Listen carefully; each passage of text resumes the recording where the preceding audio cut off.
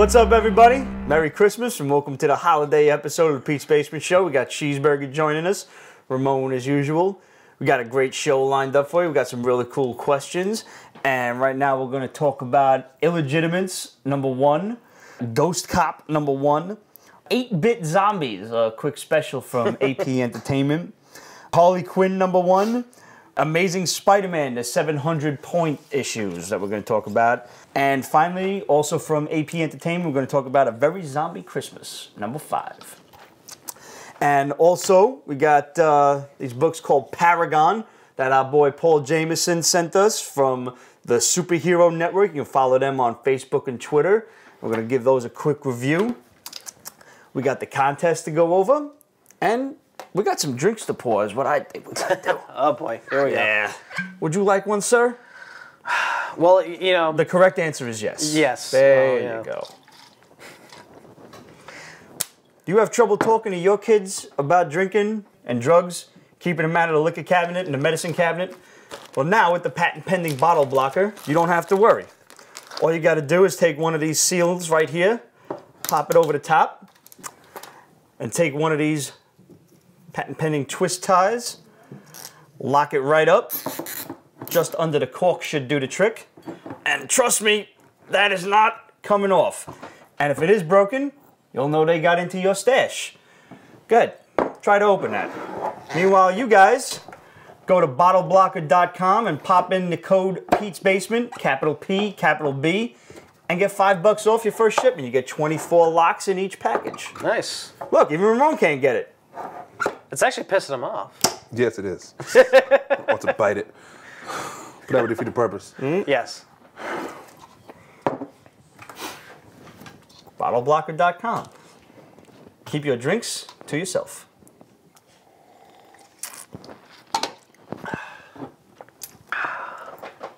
That's some good stuff.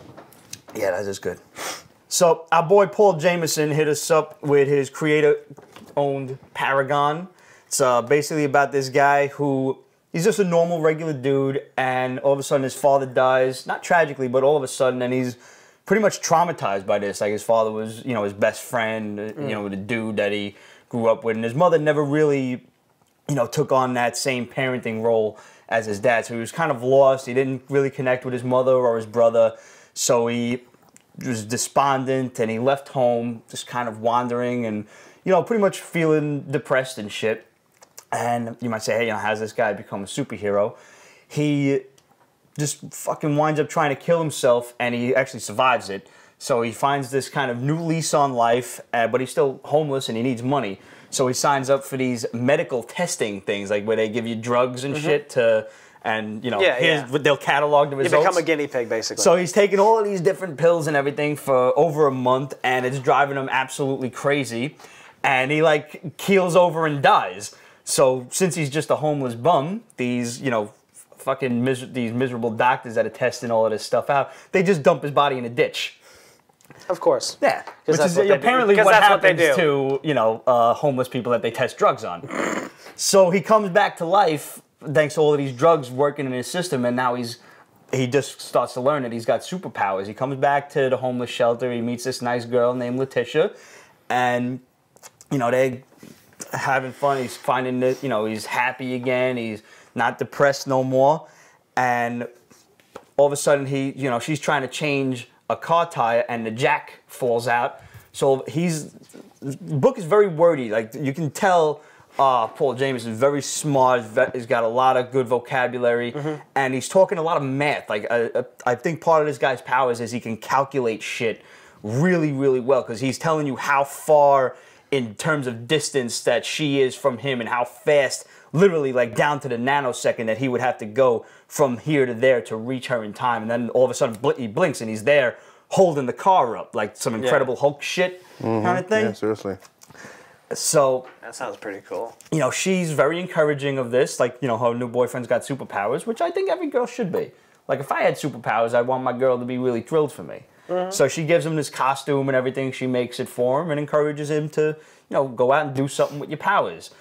Well, at one point, he there's a couple of gangbangers getting into a shootout, and they have you know some stray bullets and shit that are aiming at these little kids in costumes. So he goes and stands in front of the kids. He's bulletproof. The bullets ricochet off him, and one of the things in the book he says, well, it seemed like a great idea at the time, but not. He saved the kids, didn't think about the ricochets, and it hit his girlfriend and killed her. Oh, so now he's depressed again. So now we got a depressed guy with fucking crazy ass superpowers, and he doesn't really know what to do with himself. So he goes off and he's just trying to find a new place to live and start again and everything.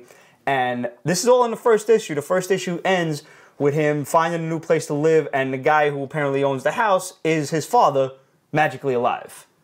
This is all in the first issue, and you notice uh, Paul sent us two issues. The fir- one of them is the take from his vantage point, from this guy Ben, who is Paragon, and the other is from this omniscient narrative dude who is like watching over him and sa- saying it from a, uh, a like a third party perspective. Okay. Yeah, yeah. With different art also. Very different, completely different art, different paneling and everything. Basic, Oh, wow. you know, so- stories kind of the same. Switch.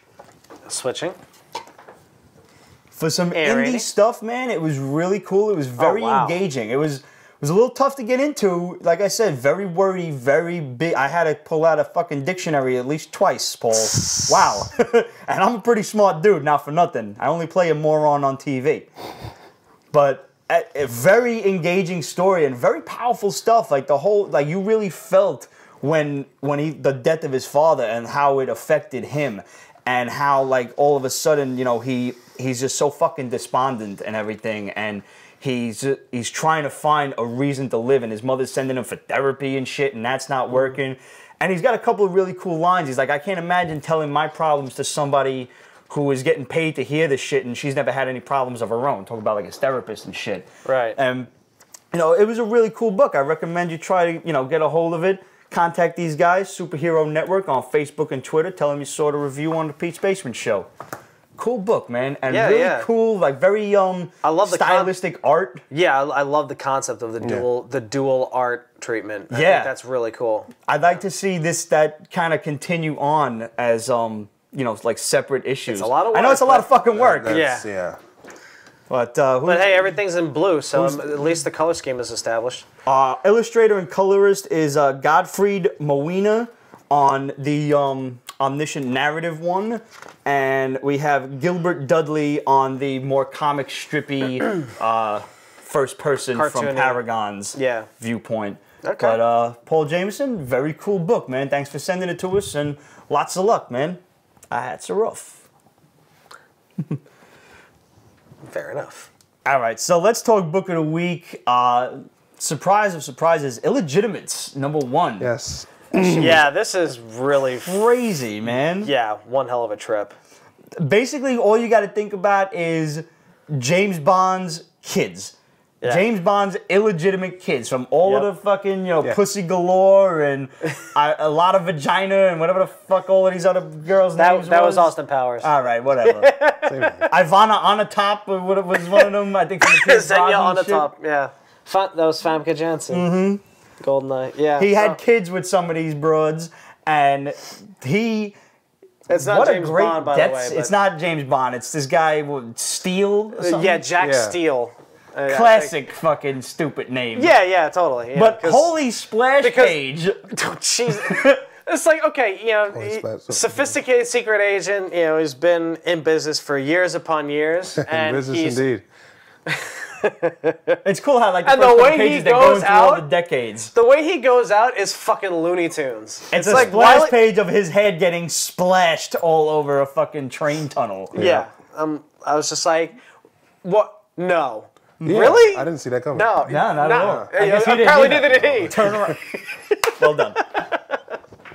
Holy shit! But um, you know, just the concept that they're gonna bring in a couple of. But like halfway alert. through the book, when he when he's dead, I'm like, so you just killed the main character? What's going on? Like, he's not, he's not the main character. apparently not. Nope, it's, it's children.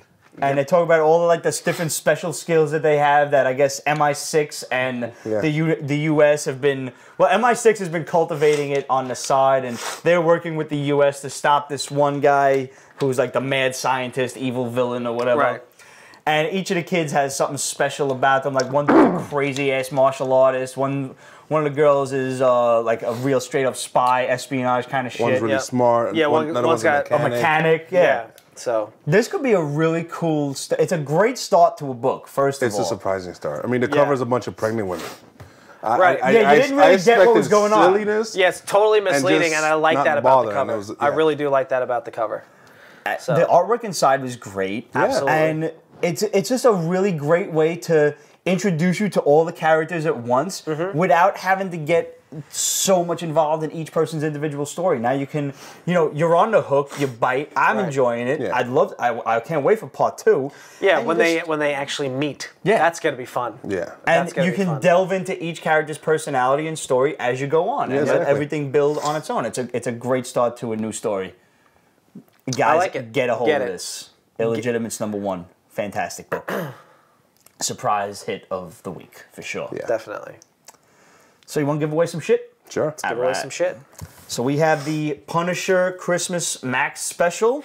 That the question was, what is the Punisher's real first name? Everybody knows him as Frank Castle, but what is his real name?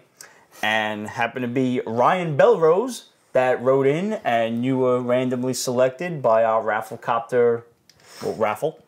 Yep. Yep.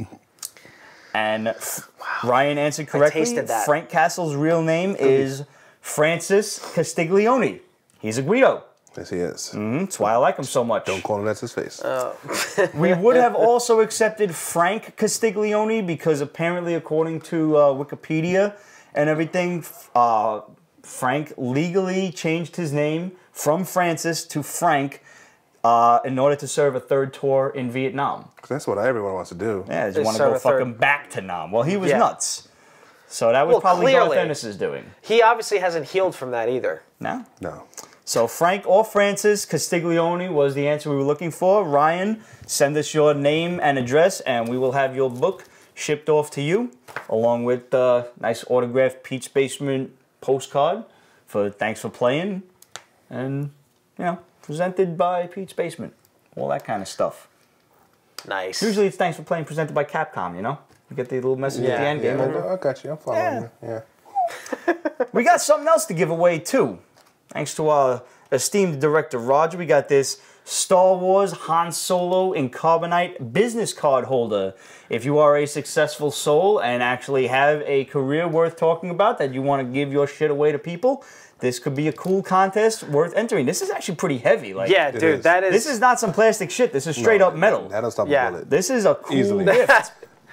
that'll that'll stop a bullet. and Keep that I shit mean, right in your breast pocket right there. Yeah. I mean, you know, you might actually get a little bit stronger, a little bit bigger in one arm, just from you know whatever side you. And I mean, if you get a nice close up of this, you can see it's actually like beveled where you know Han is. Yeah, yeah. Uh, in case that you got little feet The, over crafts- there and his the face craftsmanship and is, is top notch. Very It's really, really done. nice. So I am not the biggest Star Wars aficionado around, and neither of us are. So we have a Pete's Basement trivia question for what? Are you a Star Wars aficionado? I'm- Well, I'm a fan. An aficionado, maybe not. I mean, like, I wouldn't be able to win at Star Wars Trivial Pursuit. like you'd have to answer this like some crazy shit for this. Probably, probably, yeah, I, yeah, yeah. But So whatever. we're gonna have to ask you guys a Pete's Basement trivia question. even better. So, in the Death of Ramon episode, what did Ramon do to my copy of Amazing Fantasy 15 that caused inevitably the death of Ramon? He's back now because comic books, time travel, that sort of stuff. Yeah. So, if you guys want to win this really nifty business card holder of Han Solo and Carbonite from Kotobukiya, go on to our Facebook. Right now, Tuesday, Christmas Eve, while this show just aired, you will find the Rafflecopter section. Type in your answer for what did son of a bitch over here do to my AF-15 copy that pissed me off in order to kill him in the Death of Ramon episode. Type in your answer. You do have to get the answer right in order to be eligible for this contest. So, no wrong answers, guys. Share the question on Facebook, share it on Twitter. These are each, you know, other entries into this really cool contest. The contest ends at the end of 2013, midnight, New Year's Eve. Once 2014 hits, contest's over. Then you get encased in carbonite if you try to answer. No, you really, you really don't. We don't have carbonite, but you don't get this really cool thing that Kotobukiya gave us, and you know it was really cool. And we'd all like to keep it, but we're gonna give it to you guys because we're very benevolent. You know, mm. it's Christmas. and We're very what it's all about. magnanimous. Nice. I'm just very nice. We're not Scrooges, you know. This is for you guys, right there. Go ahead, take it. Go on our Facebook right now. Type in your answer. And with that, Ryan, thanks for playing, man. Send us your address. Paul Jameson, thanks for the comic books. Make sure you check them out at Superhero Network on Facebook and Twitter. Go grab yourself a copy of Illegitimates number one for some holiday reading. And make sure you tune into the audio show for the rest of the books that we're going to talk about. Make sure you subscribe to the Hall so you can see what me and the fellas are reading each week. Uh, make sure you subscribe to the YouTube channel, the Extras channel. Go on our Facebook, subscribe to Twitter, and, uh, you know, hit us up. Questions at petesbasement.com. We love hearing from you guys. These are the reason we do this shit every week. We love to hear from you. We got a whole bunch of fan questions at the start of the audio show. So, until then, Thanks Remember, the, guys, and with- thanks for the alcohol. we're taking two weeks off. So, we'll see you in 2014. Merry Christmas, Happy New Year, Happy Hanukkah, Happy Kwanzaa, Happy, Happy Festivus. For the rest of us. Can you tell we were born on the same motherfucking Oh. day? Oh Jesus, here you go with that.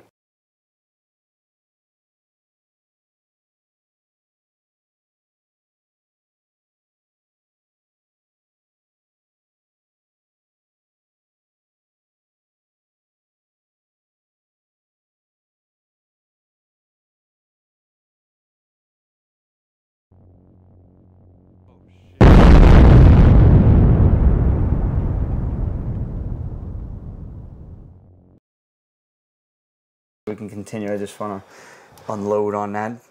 This is not easy. What's that? I hate you, hate you, hate you. All you got to do is stop it and start it again. Yeah, I'm at the point where I really don't give a fuck.